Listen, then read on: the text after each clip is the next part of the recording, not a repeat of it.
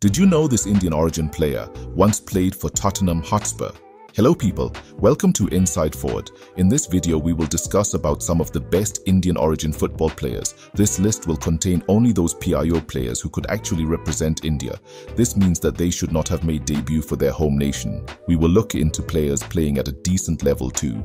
First on our list is 33-year-old centre-back Danny Batth. He's currently playing for English Championship side Norwich City.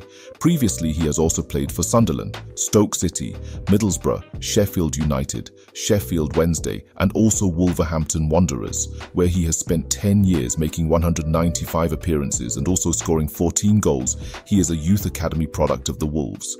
Batth has previously made his will for representing India known. He has also visited India on the matter, though he's been left frustrated by Indian residency rules and passport regulations in 2017.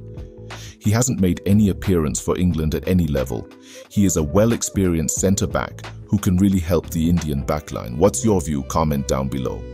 Next on our list is Malvin Benning. The 30-year-old left-back is currently playing for Shrewsbury Town in EFL League One.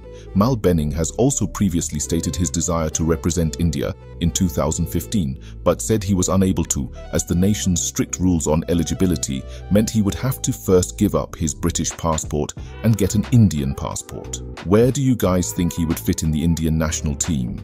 Moving on, we have 22-year-old right-winger Dilan Markanday.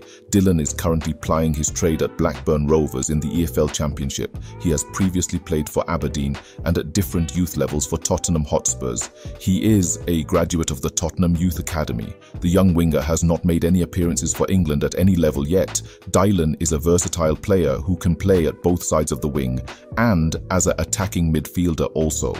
Do you think he will be a good addition to the current Indian national team? Then we have 25-year-old talented midfielder Yan Dhanda, who is currently playing for Ross County in the Scottish Premiership. He has also made 50 appearances for Swansea, scoring 5 goals before joining his current club, Ross County. He has represented England at under-16 and under-17 level. He has also previously expressed his desire to represent India internationally. Do you think this Liverpool Youth Academy product can be a good addition to Team India? So that is the end of the list for this video. My honorable mentions goes out to Omid Singh, Arjan Raikhy, Joshua Pynadath and Simranjit Thandi. These players are those who have played at a decent level and those who are young and playing for youth teams of very good clubs. If you like this video, subscribe to our channel and give this video a thumbs up. And if you want to know about the reasons for the downfall of Hyderabad FC, check out our previous video, link on the description. Thank you.